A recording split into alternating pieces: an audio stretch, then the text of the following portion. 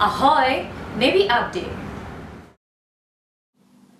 Simposium Panglima Angkatan Tentera 2016 bersama Panglima Angkatan Tentera Jeneral Tan Sri Datuk Sri Dr. Haji Zulkifli Muhammad Zain telah diadakan di Wisma Perwira ATM, Kuala Lumpur. Simposium yang berlangsung selama satu hari ini diadakan bertujuan untuk yang berbahagia Tan Sri bertemu secara langsung dengan pegawai-pegawai kanan Angkatan Tentera Malaysia bagi menyampaikan amanat serta perkongsian beliau yang terakhir sebelum meninggalkan perkhidmatan.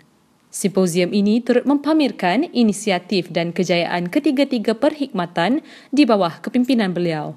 Turut hadir dalam simposium ini adalah Panglima Tentera Laut yang berbahagia Laksmana Tan Sri Ahmad Kamaruzaman dan Panglima Perkhidmatan serta pegawai-pegawai kanan ATM yang lain.